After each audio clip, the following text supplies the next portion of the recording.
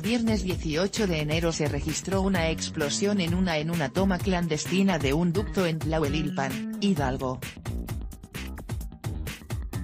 Si eso ya convertía en grave el asunto, el hecho de que cientos de personas se encontraran ahí cuando ocurrió la tragedia nos hizo darnos una idea de las grandes dimensiones que tenía este incidente. Tristemente las imágenes y videos que comenzaron a circular después nos comprobaron que esto no se trataba de cualquier cosa, sin embargo, hay uno que simplemente nos deja sin palabras.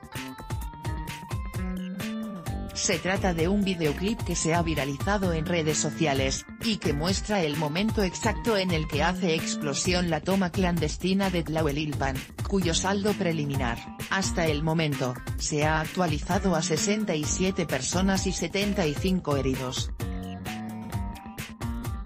El clip fue captado por la televisora local Retrovisor, y en él se muestra cómo la columna de fuego aparece de repente, y también cómo decenas de personas corren, y gritan en el lugar tratando de apagarse el fuego que tienen en el cuerpo.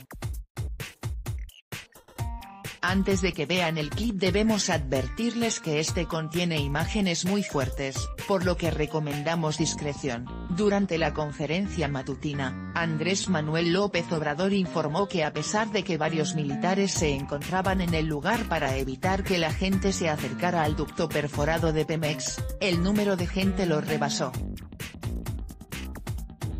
El presidente también externó sus condolencias a los familiares, y afirmó que esta tragedia es una de las principales razones por las que el huachicoleo debe terminar, por lo que seguirá con la lucha contra este delito.